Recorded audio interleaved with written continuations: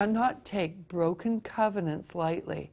In 2010, God is calling for His church to align with covenant keeping heartbeats. No matter how painful a situation gets, when we make a covenant, we have to keep that covenant. Now, again, I realize that there's situations and every situation has to be looked at separately, but it can't be taken lightly.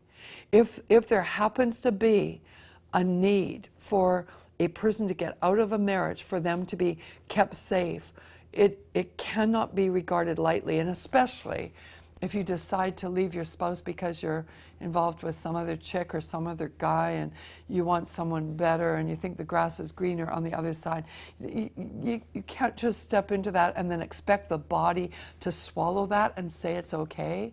It's perverse, it's sick, and it's disgusting before God and before man. He says it right here. He doesn't like it, he hates it, and, and it's just a no go with him. But I tell you, if we continue to compromise our standards in covenants, it's going to hurt the nations. It's going to hurt the next generation. Because when you break covenants like that, you're inviting curse, not only on your own life, but on the sphere of influence around you. And if there's enough of a tipping point that creates a critical mass in a nation, curse can come on an entire nation. Later on, in the book of Malachi, the prophet talks about the spirit of Elijah, which is a prophetic confrontational spirit, must come to bring alignment again, lest the Lord smite the land with a curse.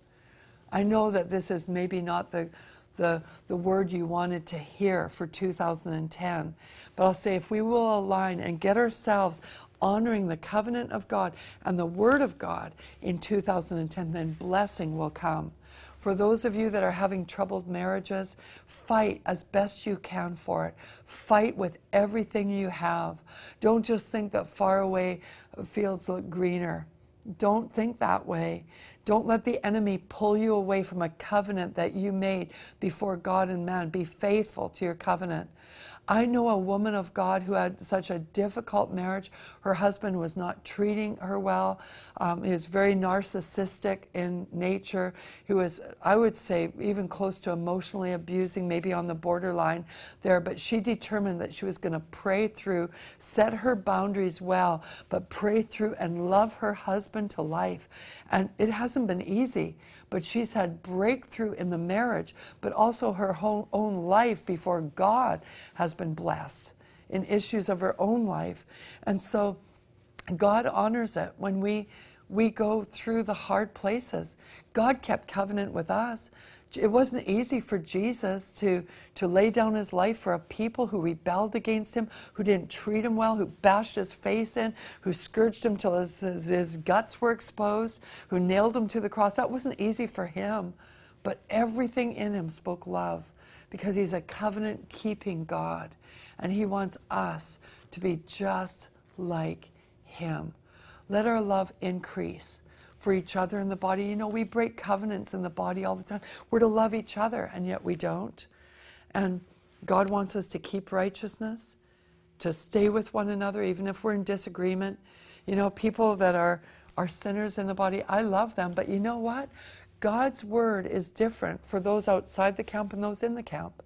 You just read your Bible in 2010 and you'll find that God says things about sinners in Zion.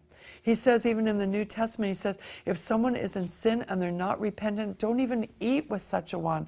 Separate yourself from them until they repent. Some people say, well, that's not love, but if God, who is love, tells you to do that, it must be love. Amen? So let's stay on the Word in 2010.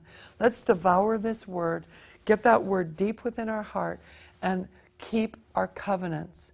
I bless each and every one of your marriages. For those of you that have already got broken marriages, I pray for a restoration of your life and all the brokenness around you. But start today with a clean start and make things right before God and before man. And let's raise up a standard in 2010.